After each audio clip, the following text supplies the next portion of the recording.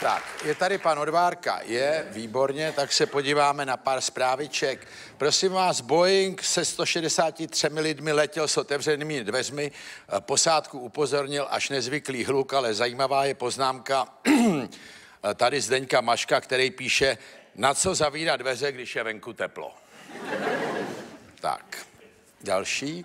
Tohle je teď hit sezóny, to asi víte, můžete mít značku podle svého přání, stáli na to lidi frontu o čtyř od rána, třeba aby si požádali o fant omas. Já to trošku nechápu, protože to si takhle hlavně výborně zapamatují policajti, ať už děláte dopravní přestupek, to není můj zájem teda.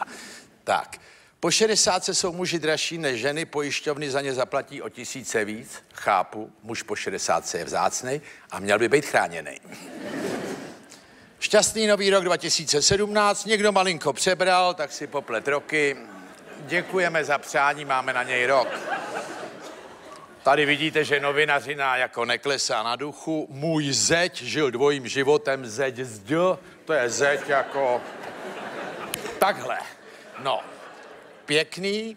Dvě třetiny Čechů drtí stres z práce, odráží se to nejen na jejich zdraví, to známe všichni, je třeba prostě přestat pracovat, aby jsme byli zdraví. A ještě tu máme něco? Jo, tohle, to je teďko novinka, že prosím vás, přibydou nový dopravní značky, tohle je taky zajímavý. Tady je kráva, pod tím je napsáno koně. No ale novinka je, že prej bude i žába na dopravní značce. Takže já myslím, že člověk pojede a bude koukat na ty zvířátka, až narazí do zdi. To myslím, že nás taky čeká. Tak, to je asi všechno. Ano, to je všechno. A nyní dovolte.